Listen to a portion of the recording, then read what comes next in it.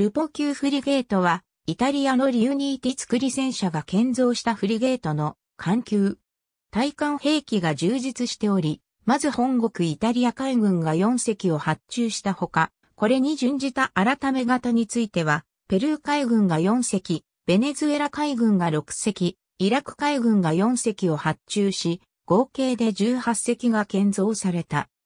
ただし、イラクが発注した4隻は湾岸危機を受けた国際連合安全保障理事会決議661の採択によって引き渡せなくなったことから、これらは後にイタリア設計はおおむね全人のアルピーノ級を発展させたものとなっており、線形も中央線道型を踏襲した。線路上の環境構造物は3層で、また環境の上にも一層の甲板室が設けられている。その前端には、なマイナス10射撃式装置の完成室があったが、2番艦では、レドームによって代替されていた。一方、線路の後方には煙突が設けられ、その直後に連続した後部上部構造物にはハンガーなどが設けられている。当初、マストは1本だけだったが、1978年から1979年にかけて煙突の直前にミズンが新設されて、ラン -10S 対空捜索レーダーはこちらに装備された。指揮官にはコドック方式を採用しており、巡航機としてはフィンカンティエリ系列のグランディモトーリトレーステ社による BL-230 から20 DVM あるいは A230 から 20M ディーゼルエンジンを高速機としては、ゼネラルエレクトリック LM2500 をフィアット社がライセンス生産したガスタービンエンジンが搭載された。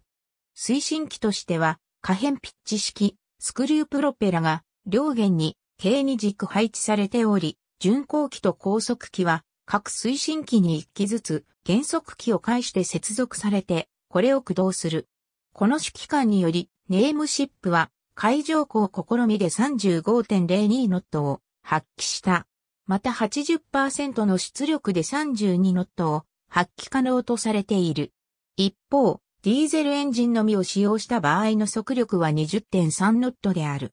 また電源としては、出力 780kW のフィアット 236SS 型ディーゼル発電機が4機搭載されている。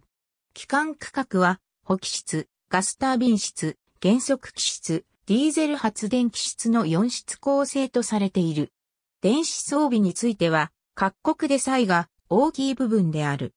センサとしては、S バンドの LAN-10S 対空操作レーダーは、全艦共通の装備として搭載される。ただし、偽装容量は異なっており、イタリア海軍艦では前帆柱に、海外の艦ではミズンに搭載される。また L バンドと X バンドを併用する対空対水上レーダーとして、LAN-11L、X ないし LAN-12L、X も掲載される。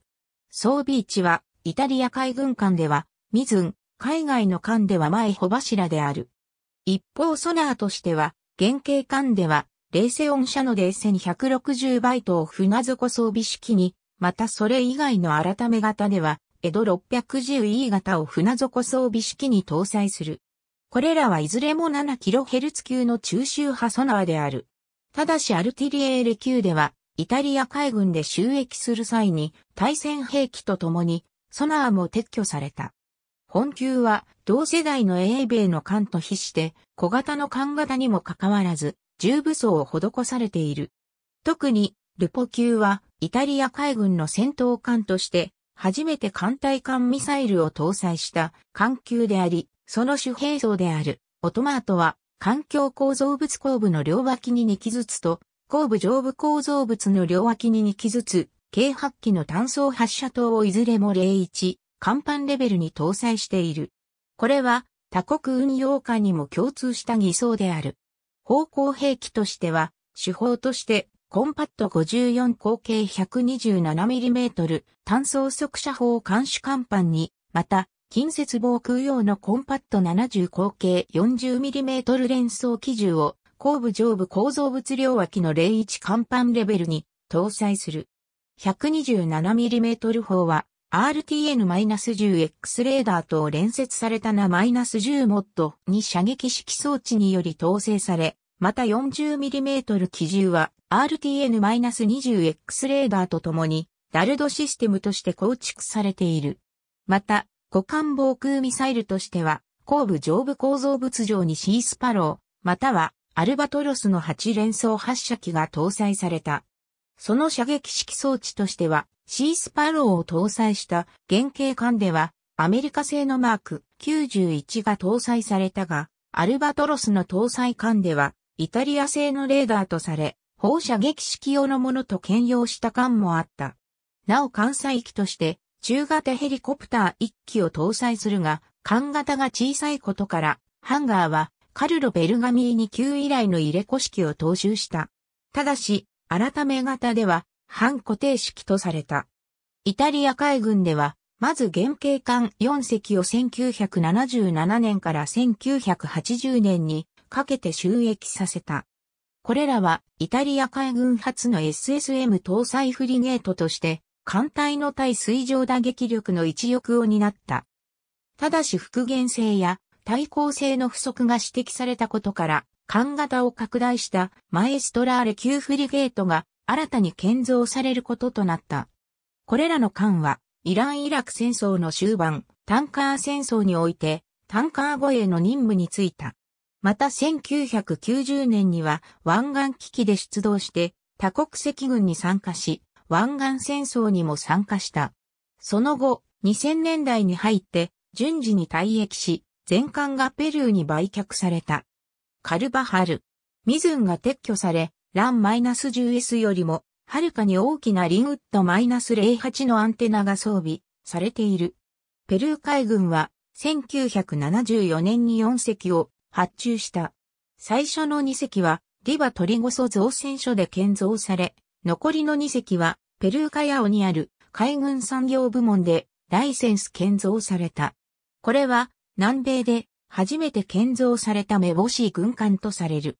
ペルー向けに建造されたルポ級は格納庫を半固定式としており、また1989年よりシコルスキー S-61 への皮膚は給油に対応した装備を受けた。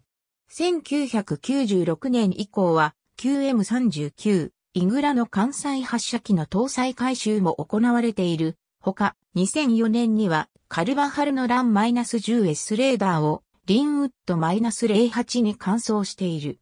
なお2004年以後、イタリア海軍を退役した原型艦を順次に購入した。艦隊行動中のマリスカルスクレ及びヘネラルサロン。ベネズエラ海軍は1975年に6隻を発注し、これらはイタリア CNR 社において建造されて1980年から1982年にかけて順次に収益した。また1997年にはアメリカ合衆国のインガルス造船所が近代化改修の契約を受注し、まず1998年から2002年にかけて1.2番艦が改修工事を受けた。